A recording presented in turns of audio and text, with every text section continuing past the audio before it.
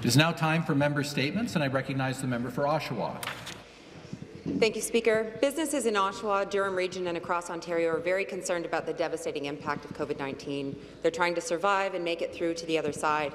I've been hearing from businesses, downtown BIAs, the Chambers of Commerce and Boards of Trade the Ontario NDP submitted the Save Main Street plan, filled with recommendations based on what small and medium businesses have been asking for. They need tools like the successful Digital Main Street program so that business can get online and get to their customers and community. Enhance wage subsidies because the Fed's 10% isn't going to cut it.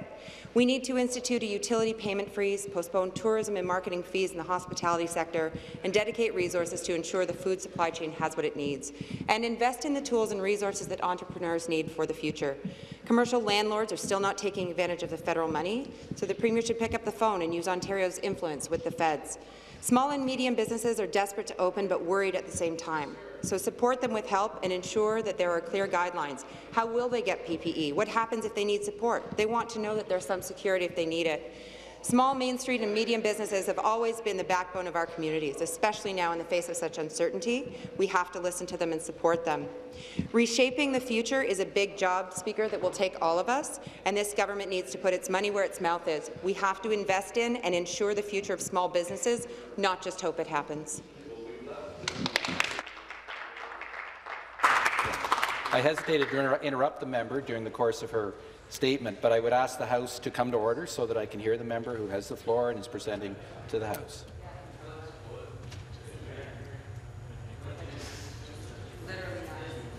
Order.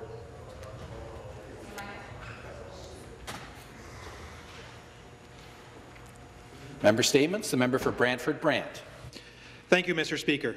I rise today to recognize the extraordinary frontline workers not only in my home riding of Brantford Brant, but throughout Ontario. In our hospitals, doctors, nurses, cleaning and kitchen staff, IT workers, and all support staff. On our roads, paramedics, fire, police, military, dispatchers, delivery personnel, and all support workers. In our long-term care homes, nurses, PSWs, cleaning staff, recreational and therapy workers. In our fields, farmers, farm workers, and farm families. In our stores, pharmacists, assistants, grocery store clerks, security staff, and workers tirelessly re restocking shelves. The workers that you never see, hydro technicians, municipal sewage workers, water treatment staff, and telecommunications professionals that link and give us access to information, the ability to talk to our loved ones remotely, and to keep us entertained. A huge thank you to all in our province who have stepped up either working to treat COVID-19 patients, working to prevent outbreaks, and the Ontarians that work daily to keep us safe, comfortable, and fed. Recently, I reached out to our long-term care homes in my riding of Brantford Brant to hear firsthand the reality of what was going on on the ground. While my thoughts are with the residents who cannot see their loved ones in person, I was most impressed with the level of preparedness and dedication to fight this deadly virus. If you are a team leader, a manager, or director and wants to recognize excellence in your organization, I urge you to contact your local MPP. Thank you. Thank you very much. Member statements. The member for Kitchener Centre. Thank you, Mr. Speaker. The pandemic pay announcement was made on April 24th, but it wasn't until May 15th that the ministries responsible contacted eligible employers to provide more details. That meant four long weeks of critical frontline workers continuing to put their lives on the lines to protect Ontarians while wondering if they would qualify for this pay, wondering if their work was valued by this government. We know staffing shortages plague the system because of the government's cuts leading up to the pandemic, and now exclusions based on random criteria that was never disclosed to the public has added insult to injury. PSWs at long-term care homes qualified for, for pandemic pay, but called my office asking why the person working alongside them did not, simply because they had stepped in to provide temporary help through private home care companies. Why were ambulance attendants not on the list, or people who provide MRIs? What about clerical support staff organizing and prioritizing appointments, or laboratory technicians who do our testing?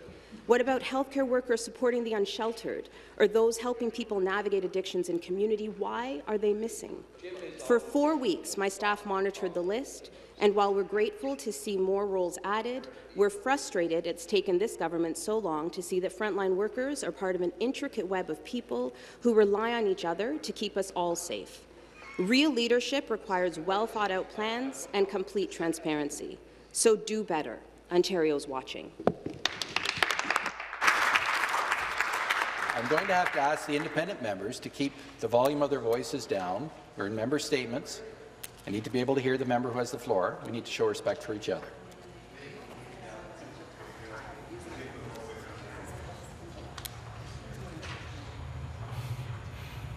Member statements. The member for Whitby. Good morning, Speaker. Thank you. In response to the epidemic, staff at the Community Care Durham have launched the Community Food Boxes program. The program, Speaker, was developed to support residents from communities in the region of Durham unable to safely acquire the essentials needed during this unprecedented time. With the support of local businesses and farms, the food boxes contain the essentials for healthy eating, much of which are locally made or grown in the region of Durham. These boxes, Speaker, uh, are delivered uh, throughout the region of Durham and help to relieve the pressure from immediate family members unable to provide the necessary care to their vulnerable loved ones. Speaker, Community Care Durham is a multi-service charitable organization with a long history of providing community support services to adults and their caregivers who have needs related to aging, physical, and or mental health. Speaker, Community Care Durham will continue to partner with local businesses and farms to bring Durham residents in need during this extraordinary time a truly community experience. Thank you to the staff at Community Care Durham and all the volunteers who are delivering the community food boxes. Know that you're making a difference in so many lives throughout the region of Durham. Thank you, Speaker. Member statements. The member for Brampton North. Thank you, Mr. Speaker. Demand for security guards has drastically increased during COVID-19 pandemic. These men and women have been asked to take on challenging roles on the front lines, ensuring that our grocery stores, hospitals, government facilities, and care homes are safe. There is currently an acute shortage of licensed guards in Ontario. Many guards are currently being asked to work double shifts and overtime, but demand persists. In a province posting historic job losses, there are as many as 5,000 positions that remain unfilled. This demand will only increase as the government moves slowly to increase economic restrictions. The good news is that there are thousands of Ontarians ready and willing to take on these roles. Unfortunately, new licenses and testing have been suspended, rendering it impossible to become qualified as a security guard in Ontario while testing and licensing facilities remain closed. The province urgently needs to temporarily remove and continue with testing, online testing and certification for the duration of the pandemic. We understand that a similar program has been undertaken in Quebec. Despite the dangerous essential work that security guards are carrying out, reports are that guards are not receiving the $4 an hour top-up the government promised. To be clear, Many guards are working in care homes, hospitals, and detention centres. Most are working in roles that require placing themselves, Mr. Speaker, and their families in danger while screening, interacting with members of the public. This needs to change. Member statements. The member for Scarborough-Guildwood. Speaker, it's an honour to rise today on behalf of the people of Scarborough-Guildwood. Today, I thank everyone who is doing their part to curb the spread of COVID-19, especially our healthcare heroes. I had a chance to meet several of them at the Scarborough Health Network on Friday when the Scarborough Business Association delivered food packages for lunch. I thank these essential workers for who are keeping our province moving. At the same time, I'd like to acknowledge the hardship experienced by small businesses, not only in Scarborough but across the province. Over the past weeks, I've touched base with a number of small businesses owners in my riding of Scarborough-Guildwood. I hosted a virtual small business recovery consultation and heard from owners such as the JC Banquet Hall, a fine arts instructor who does her instructions now over Zoom, and the owners of G&G Electronics, a family-run business who has been operating continuously for over 65 years. I want to thank Katie Suyuki for moderating this session. I'd also like to thank the Scarborough Business Association for hosting a virtual set of meetings to facilitate networking, information sharing, and promoting new and innovative partnerships. It's clear that some industries will do better, and they're better situated to recover and adapt from COVID-19.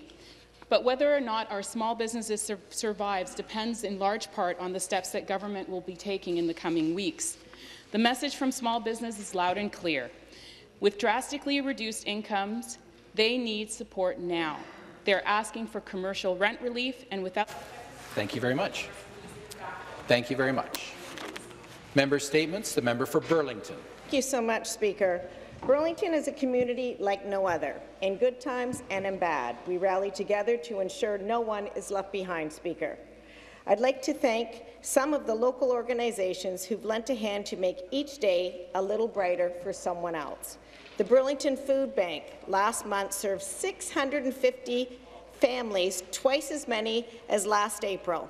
In addition, organizations like the Compassion Society, Food for Life, Burlington Salvation Army, and Wellington Square United Church are also providing support.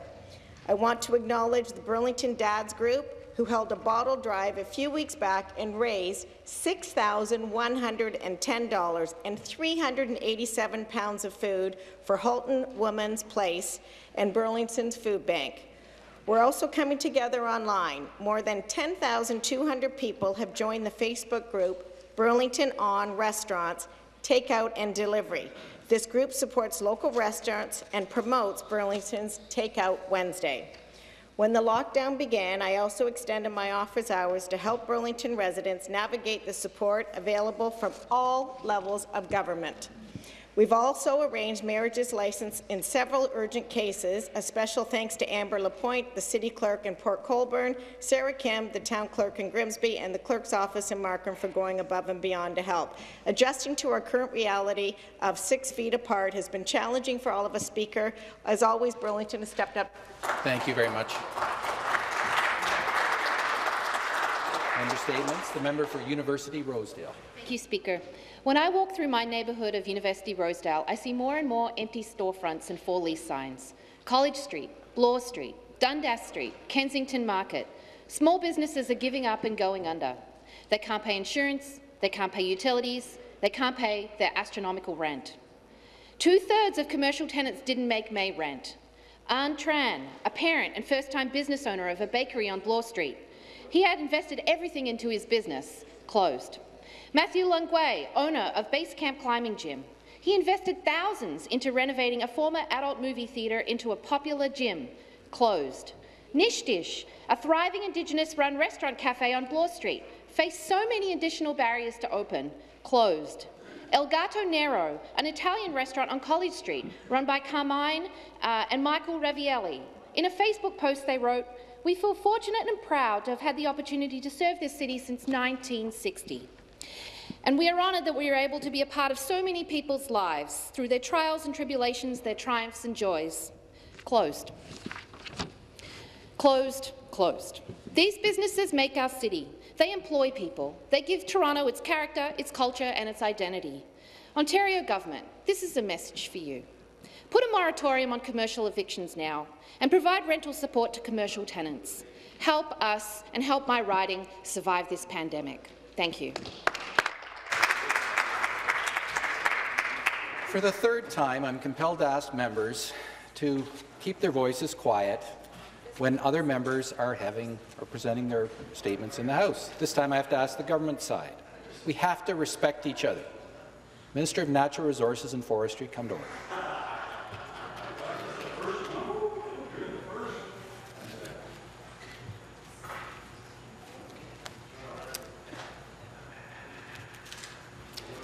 Member statements. The member for Flamborough-Glanbrook. Thank you, Mr. Speaker. I'm pleased to rise today to talk about the critical role Hamilton International Airport is playing in the fight against the COVID-19 pandemic. Hamilton is the nation's hub for the delivery of personal protective equipment to frontline workers. It is also the largest domestic express cargo airport in Canada. On April 11th, a 767 cargo jet landed in Hamilton from Shanghai with 75,000 pounds of desperately needed PPE. Since then, plane load after plane load of N95 masks and other vital medical supplies have arrived at Hamilton Airport from sources right around the world. The shipments are temporarily stored in a 77,000-foot air cargo space before being delivered to sites right across the country. The facility at Hamilton specializes in the shipment of pharmaceutical and biomedical supplies. Hamilton Airport, Cargojet, and their delivery partners, DHL, Purolator, UPS, and Canada Post, continue to work around the clock to meet the surging demand for PPE and other medical supplies. I want to commend all of the air cargo and delivery teams at Hamilton Airport and CEO Cathie Puckering for their commitment to supporting the supply chain and keeping Ontarians safe. Thank you.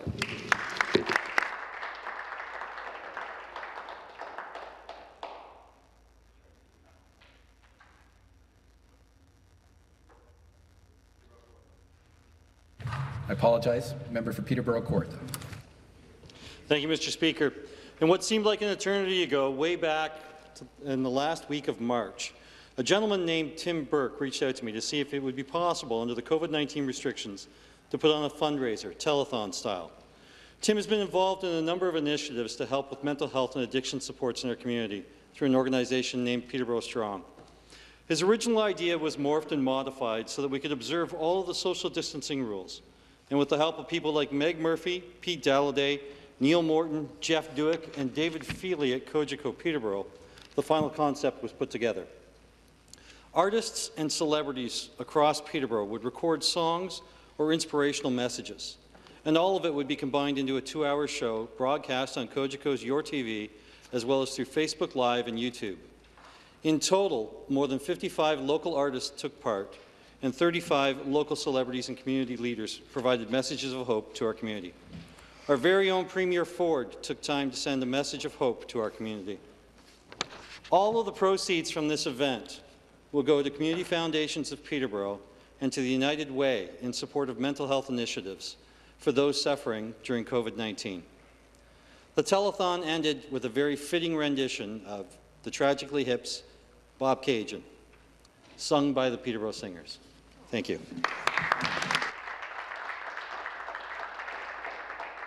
Thank you. That concludes our member statements for this morning. It is now